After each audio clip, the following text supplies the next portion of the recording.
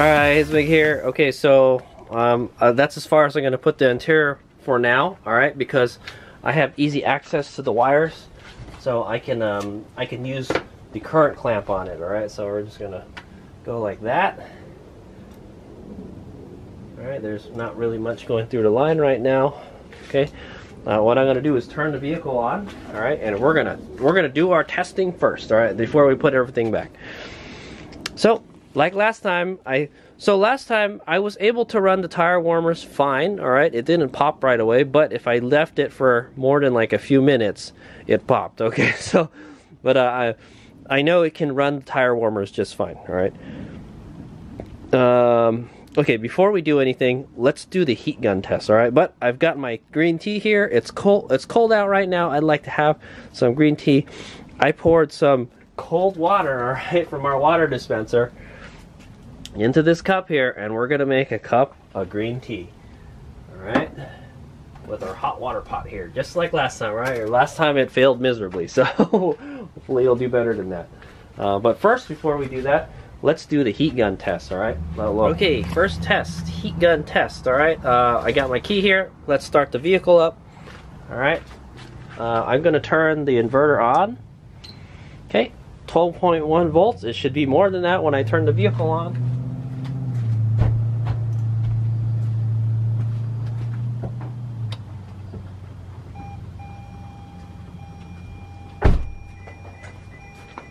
Okay, the vehicle's on and it's complaining that uh, the back door is open, but we've got 14 volts coming through the the inverter right now.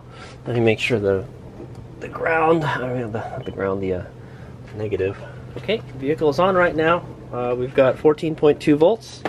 I'm going to connect the uh, this guy up here. All right, where we installed our thing before. I don't kind of don't like this outlet, guys. When I pull it out, the whole thing comes out. Okay, I wish I drilled the hole somewhere else. Okay, so here's the heat gun. We're gonna do low setting. Okay, voltage went down to 14 volts and 140 watts. Not a whole. Wait, wait, wait. It's 140 watts. Okay, it's not a lot. We're gonna check the uh, the current. We've got 37 amps coming through the wire, all right? Still plenty of, uh, still plenty of room. All right, now we're gonna go to uh, high. Okay, that's high. That's 98, uh, 980 watts. All right. Oh no, 1.14 watts. It's pretty much maxed out. So just this is enough to max it out. All right, guys. All right, how many amps? I'll read it to, to you guys. 92 amps okay?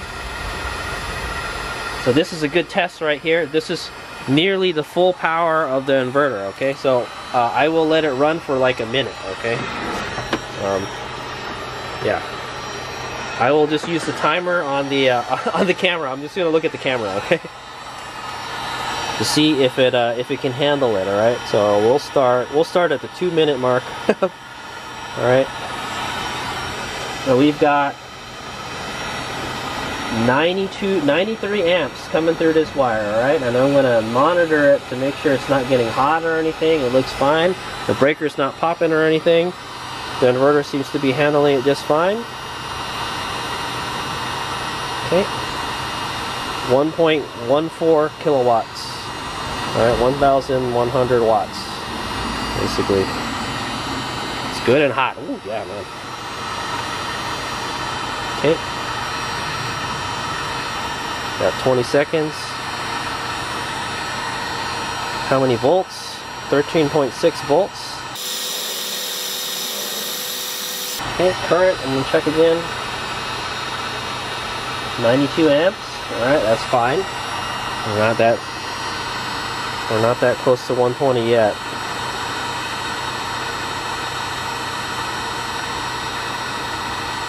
Okay, five, four, three, two, one, and you pass, okay? So we ran the heat gun for more than one minute, all right, guys? That's a 1100 watts, and it handled it, 92 amps coming through that that positive, the, the wiring, and uh, it's fine, okay? So I'm gonna go shut it off now. Cool. How is the inverter warm or anything? No, not really. It's pretty cool right now. I'll check the wiring right now. Wiring is not hot at all. You can handle that no problem. Okay, guys? So, pass, all right? At least, at least we know we can run this for one minute. okay, I'm gonna unplug it now. Boy, the, the wire does get, this, this wire gets warm though. This wire, the extension cord doesn't get uh, like that though. Okay, our okay. second test. Second test is uh, can we boil some water, all right? So I can make myself some green tea. I've got here my hot, my electric hot water pot. All right. I think the wire is long enough. Ooh, barely. Okay.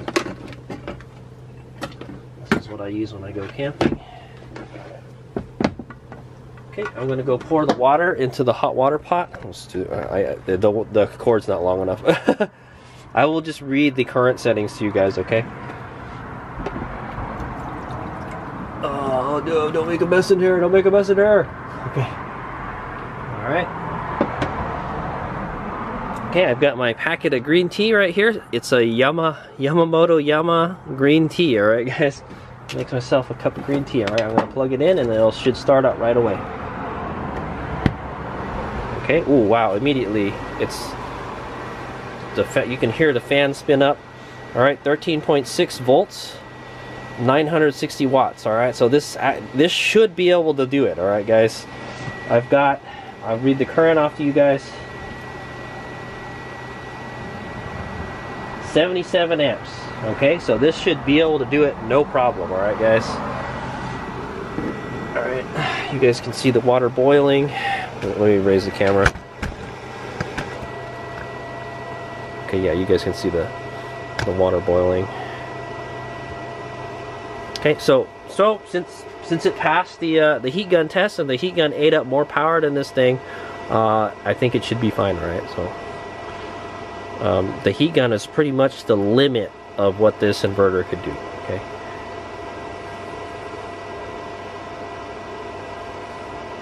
I wish this inverter was a little more powerful, to be honest.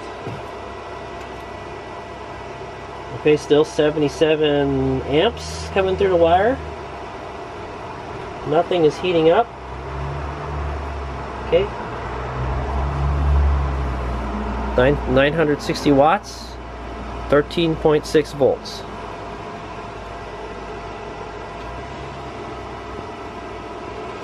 Yeah, let me get my uh,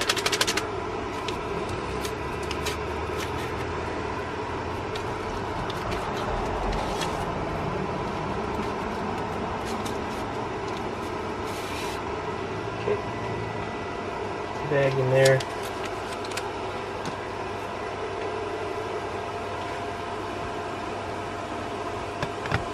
Starting to boil.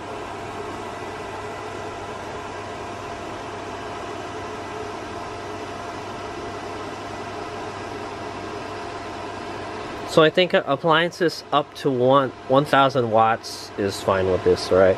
Though, like I said, the wire is not even heating up at all, okay? So, so definitely the wiring is up to the task, okay, guys? It's just unfortunate that the uh, the breaker that we installed before was doo-doo, okay? Okay, there we go. It's boiling already. That was fast. Okay, let it boil for a little bit more. Get nice and hot. Right. That will shut off too when it gets a certain temperature. So, uh, okay, so we've got. Uh, I'm to read it off. 960 watts, 13.6 volts, and 77 amps still. Okay. So we're done. Pass. All right, I'm gonna go unplug it now. I'm gonna make sure I hold the outlet. Well, let's see, I'm gonna pull it. Okay, good. Just stop. Cool, there it is. All right, and then we're gonna go pour myself a cup of tea.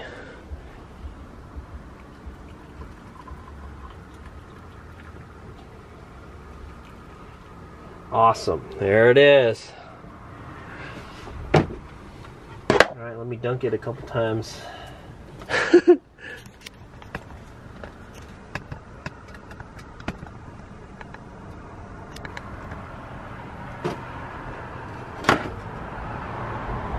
dunk it. Let me dunk it a couple times.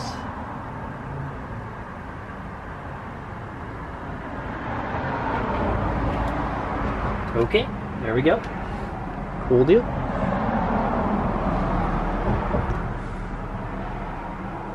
There she is. Okay, next test. Vacuum cleaner, alright. This vacuum cleaner can draw 12 amps, it says, alright. So that's about, that's like a thousand watts ish, okay. Um, I'm gonna plug it into the outlet again. Okay, plugged in. I'm gonna fire it up.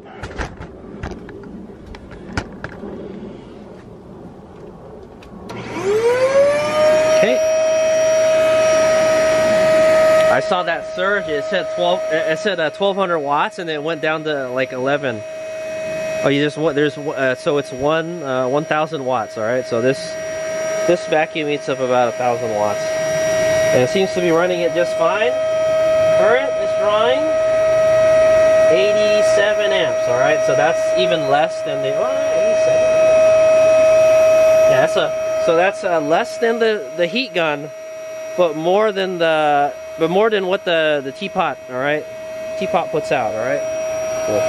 Let me uh, let me turn the brush, the roller on. Okay, it went up just a tiny bit. to run the roller on the vacuum. Okay, I think that's good. All right, I'm gonna go unplug it. All right, cool. What else can we try? okay, next test. Sur-Ron Light Bee charger, all right, for it's a 72 volt battery for 72 volt Sauron. All right, I'm gonna plug it in, turn it on. Okay, and we're gonna plug it in the battery and charge.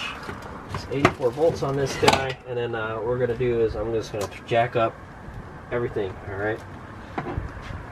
Alright, so this this can charge at 10 amps, alright? See how much that is. Okay, there we go, it's charging it. That battery is pretty full charge, so. Alright, but uh, see this charger only eats up like 740 watts. Pretty good. 740 watts, 13.6 volts. And we've got 78 amps coming through the wire. Okay. Handle that, no problem. All right, how much more power do we have left over? Mm, man, we got about a. Ooh, let me see, three, 500 watts left. Not a whole lot of power while charging the battery. Okay. That's what I'm going to be doing with this. I'm probably going to be using this charger a whole lot.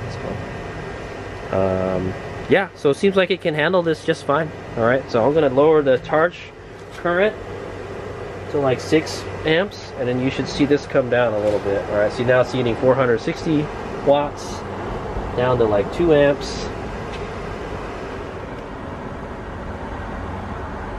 All right, only like 160 amp, 160 watts on the lowest setting. That's two amps coming out of that charger. 140, 140 watts. Okay, so there we go. You can do it. Ooh. Does the wire get hot at all? No. Does the inverter get hot? The inverter does get warm. the inverter is getting pretty warm. I just want to say, okay?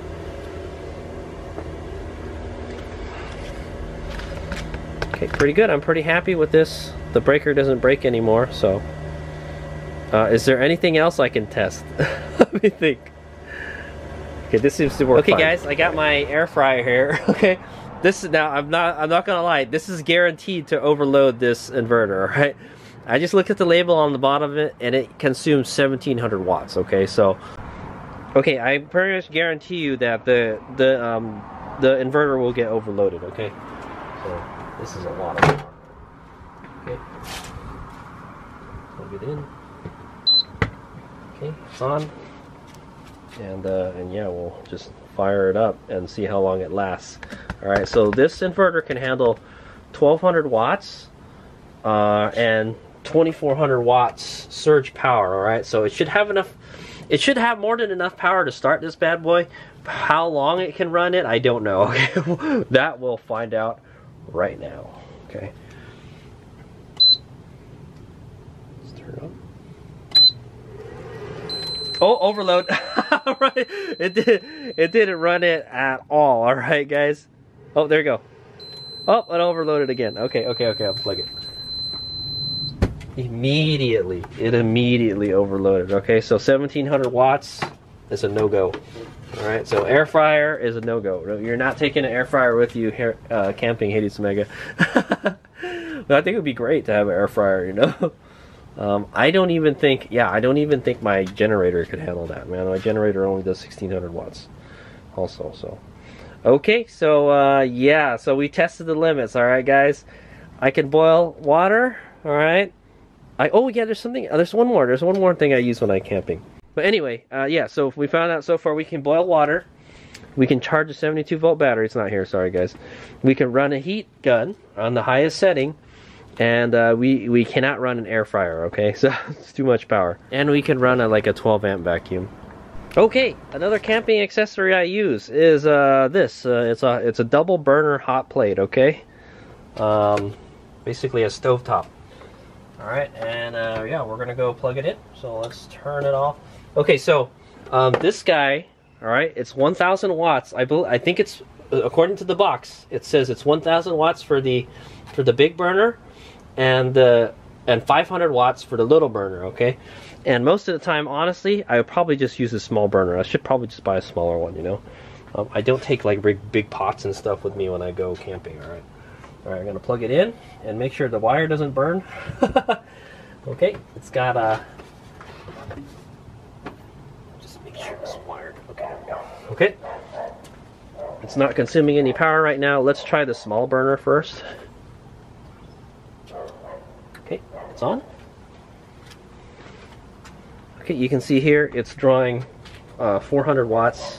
Said 460 watts. Okay, and 37 amps is coming through the uh, um, the wire. Okay, the 12 volt wire. Okay, no problem. Okay, I'm going to turn the small burner off and turn the big burner on.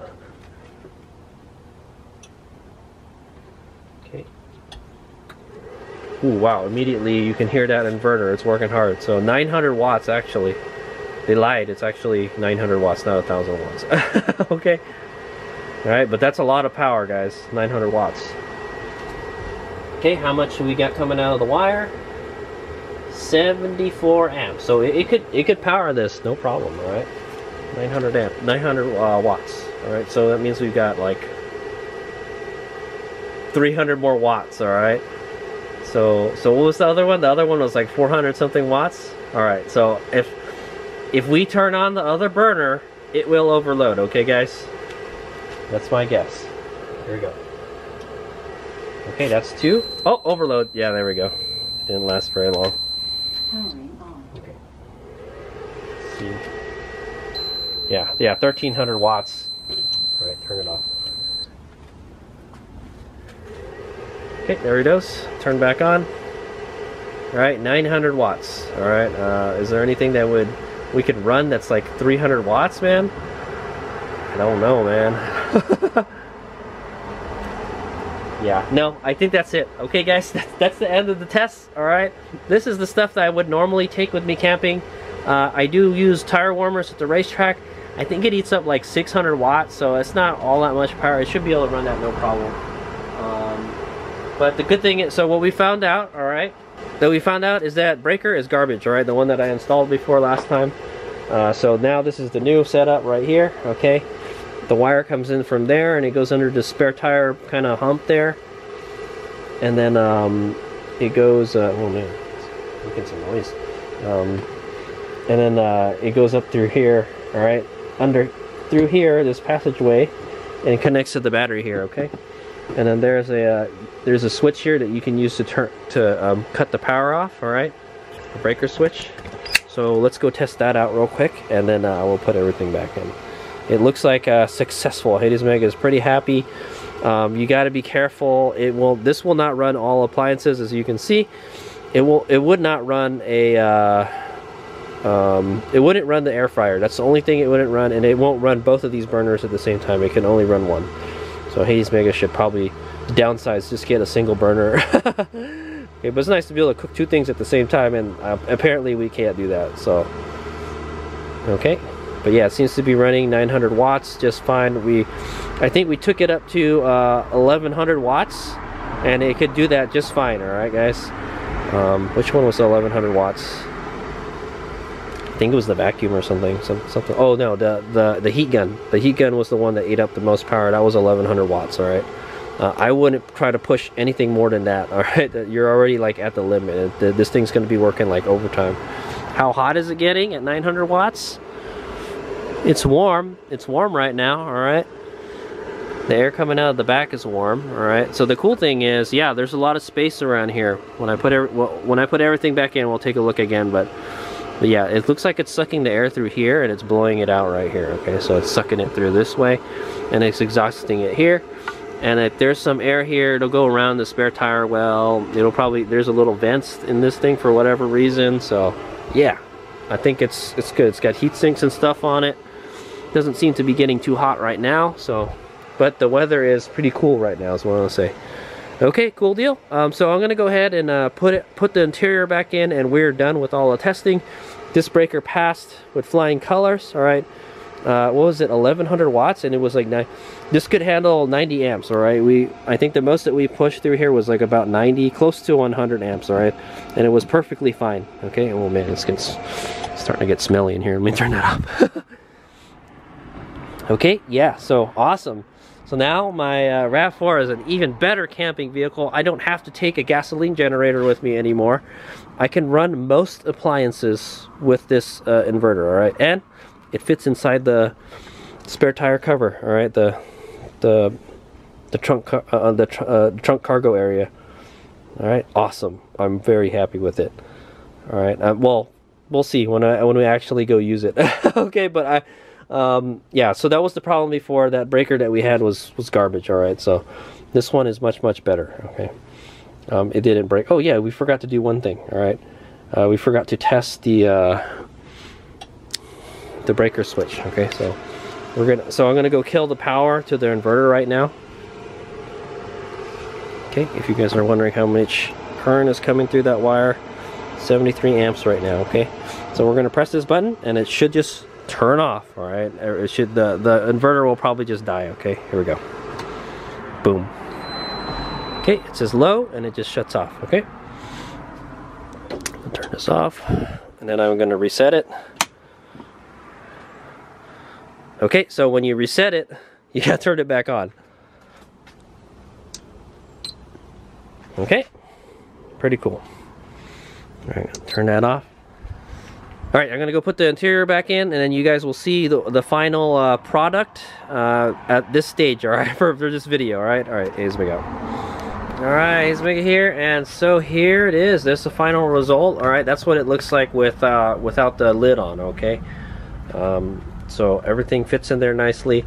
I had to move the, uh, let me see here. Okay, so I had to move the, um, this cord like right under here so doesn't so the tire doesn't touch it so um, or we could have just put the spare tire on top of the wire which is is fine. I, I, don't mind. This wire is pretty strong. It's not gonna it's not easy to damage it as long as okay? Um, so the wire is coming here and it's going underneath the little passage there. Yeah there you go. You can see it. It's going underneath here. There's that there's that uh, support brace for the spare tire and then it goes through um, it goes through here. Okay you can see so this is my inflator and these are some spare softy ties. I've got a uh, flat repair kit here okay? Um, it's a plug kit. And then um, there's the negative wire coming up into here. There's a positive wire coming here. All right this moves a little bit. It actually it's actually kind of loose so I think that's good. You want it you know you don't want to put a lot of tension on the wires all right, the wire is going, yeah, the wire's crossing on top of this fuse box thing right here, all right? It's, it's fine, whatever. Okay, and then there it is, spare tire fits fine. All right, here's a little donut for the spare tire. Oh, man, if I can get a sub to fit in there. I do like having this little thing. I don't like this foam that's down here. This foam eats up a lot of space. So you could put a lot of stuff underneath there, but it just, yeah, it's just stuff, you know? There's no space, um, it eats up your cargo space, man. So yeah, that's my inflator right there. And so this area is a little bit, I can, I probably have room to put a little something here. I might be able to put these in napkins here. So it fits. As long as uh, it doesn't touch this uh, this button is fine, but I'm just to keep this up here. Oh, there's this one. It's like my camping stuff, man. Okay, uh, I got toe strap here. The old tools, like I mentioned last time, they're here. All right, there's tools here, there's tools here, and I think the little hook, yeah, the hook for the spare, the, the jack is right here, all right, so this goes with that. And then, yeah, and then there, so here's the inverter, like I mentioned before. There's plenty of space around it. We want to keep this space open so there's good airflow here. So the airflow is going to suck the air through here, out here, and then it's going to exhaust it right here. Okay, and it's going to come through here. All right. Um, yeah. So so the air is going to kind of it's going to get hot back here. so let's say, all right. Um, if you're running the inverter a lot, okay, uh, which is it's okay. Um, my my suggestion is uh, when you're uh, when you're running the inverter, um, crack this crack the lid open a little bit to let some of the air out okay it has a fan on it so I think it'll be fine you don't need any kind of fan but um, it just just crack the lid open a little bit and what that'll do is I guess uh, I guess it'll let cool air in so it's good I don't know I don't know how that's gonna work man yeah um, it'll let cool air in so so it'll it'll suck it in, it'll suck the cool air in through the intake and it'll, exhaust the hot air through the back. But there's not really a good place for it to come in. It's probably to go here and go. It'll hit this wall here. It'll go in here through this inside this panel and it'll go out here. It'll go here this way. Okay, which is okay. There's still still a lot of space in there, I guess. Um, ideally, it would be good to not have anything right here. All right, don't put anything right here because that will impede the airflow, all right? But like I said, there's there's some vents right here also. So okay, so uh, so yeah, let's go close it up, and I'll show you what it looks like. Uh, I'm pretty sure you'll know what it looks like. It just looks like a regular Rav4 trunk. Okay. uh, okay. Also, another thing is yes, I could you I could just uh, uh, disconnect that. All right. If we're not using the inverter, we can use this as our switch. Okay. Um, this this is like the master switch. All right, type of thing. All right. Um, one thing you to be cautious with all right i guess it would have been better to put the put the breaker in here yeah well okay the reason i wanted the breaker here is if it does trip i can reset it all right um, it's all i have to do is lift the cover up and i'll demonstrate lift the cover up and then press the button you know or or turn it on all right so that's on and that's breaker off okay um only thing I'm worried about is yes, these wires are kind of exposed a little bit. All right, um, the top is fine, okay? However, the uh, um, the the terminal, okay, the ring terminal is uh, is exposed a little bit, okay? So what I might want to do is just put some electrical tape around this area here. Right, put some kind of cover. I mean, this works pretty good, but but this is exposed right here. So what I want to do is just wrap a little bit of electrical tape around here. This one I'm not too worried about. But but yeah, potentially you could I don't know. There's a lot of plastic around here. So it's actually, this is actually a good place to put it, all right? So I want to say. Okay, and then, yeah, this this isn't totally, this is kind of floating, so um, it, it'll, you know, vibrations and stuff, it'll, it'll kind of um, dampen some of the vibrations and stuff too. So that actually works out pretty good. I'll tell you the truth, okay? All right, let me go close it up. Okay, guys, and there it is when it's all hidden. okay, so the only thing you can tell you have an inverter is uh, this uh, this outlet right here. Okay, and it looks like it belongs there. It looks good. Okay, just uh, make sure when you pull it out, um, hold on to it because you could just pull the whole thing out. I did it before, so okay. It, it, depends on how tight. I, would imagine maybe this will. This is probably really tight the outlet. Okay, so to run the inverter. All right. Okay, so to run the uh, inverter, the camera. Right, I haven't installed the remote switch yet. I'll go over what the next project is going to be. All right, all I have to do is lift this up, all right, and then I have to uh, make sure that the breaker here, all right, all right, make sure that the breaker here is on, all right, it's off right now. I'm going to turn it on, okay, and then hold the button down. There go. Okay, turns on. voltage should be around 14, 13 to 14 volts, all right? Um, if your vehicle is on, all right? You remember, you have to run it. If you're gonna run something with this, your vehicle has to be on, or else you will drain the 12 volt battery. Okay, um, you don't want that. All right, you could damage the battery too. So, okay, and then when you're done, you just press the button, turn it off. All right, and if you want to, you can just press the button on the breaker, and then that'll, that'll kill the power to the inverter. Okay, so pretty cool. I like it. I like this setup better than before. Before that, uh, the breaker was back there, all right, and it was kind of hard to get to, all right, but I can still pretty easily get to it, all right. The only problem I don't like is that, yeah, sometimes this is hard to open if you got a lot of stuff in here, and usually when I'm camping, I got a whole lot of stuff in here, okay? So, so yeah, sorry, it's out of focus. Okay, and that, so that's it. That's the end of it.